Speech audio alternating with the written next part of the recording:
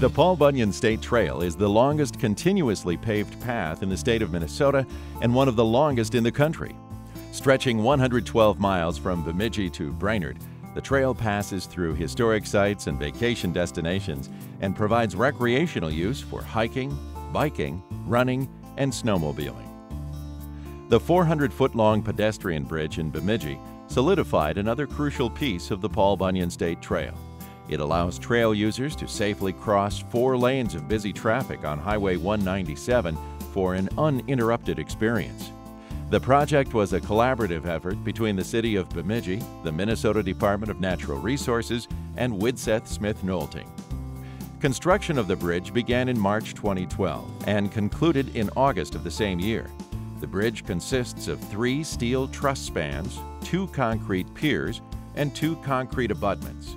The entire process of lifting, rotating, and setting the end spans took approximately 30 minutes each, while the middle span, which is composed of two sections that are bolted together, took approximately one hour to set.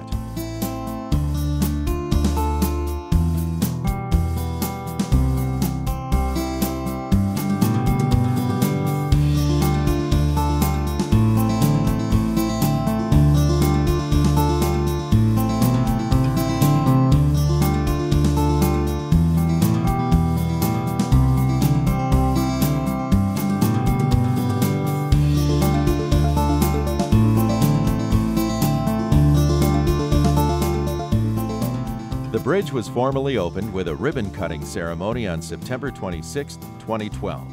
State senators and representatives from the surrounding area, as well as representatives from the DNR, City of Bemidji, and WSN were in attendance.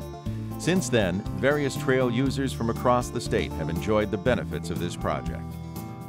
WSN structural engineers have designed more than 250 bridges for 75% of Minnesota's counties. To learn more about our structural engineering services, please visit widsethsmithnolting.com slash structural.